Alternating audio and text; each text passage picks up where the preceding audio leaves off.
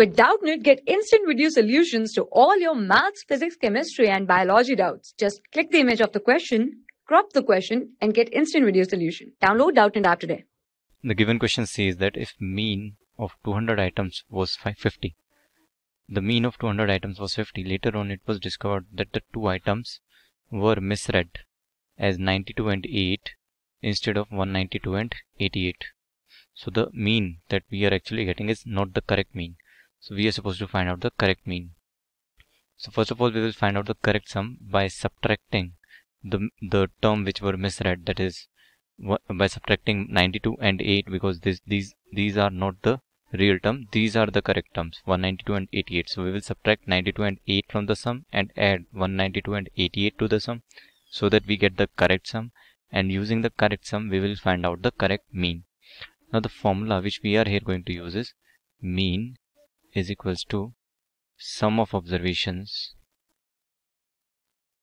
divided by number of observations now from here we can uh, write sum of observations as sum of observations is equals to mean multiplied by number of observations. Now let's find out the correct incorrect sum because we are given the mean of 200 items that is the 200 observations are number of observations are 200 and the mean is 50 so number of observations, let's denote the number of observations by n. So n is 200. Mean is 50. So we will have, because this is uh, here the the sum that we have taken is not correct. So we will get this is actually incorrect mean. Now we will find out the incorrect sum. So incorrect sum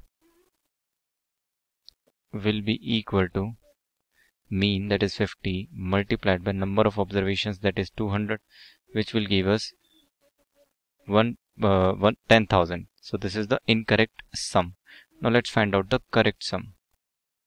So the correct sum will be equal to because the question itself is saying that two items were misread as 92 and 8 instead of 192 and 88 that means from the sum we need to subtract 92 and 8 and add 192 and 88 so we will subtract from the incorrect sum that is 10,000 92 and 8 will be subtracted and 192 and 88 will be added.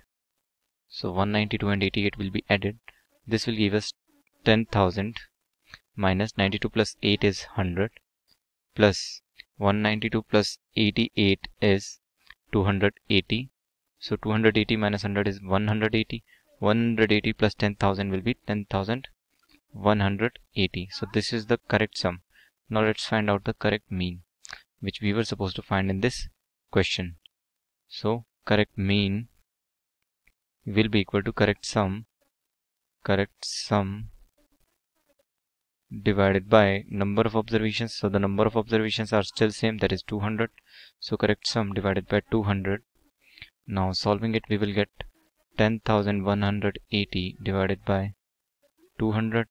Now on solving it we will get 509 divided by there is a zero here so we will have a decimal point here. So we will get 50.9.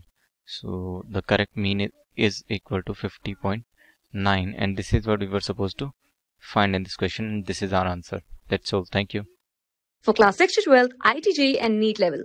Trusted by more than 5 crore students. Download Doubtnut app today.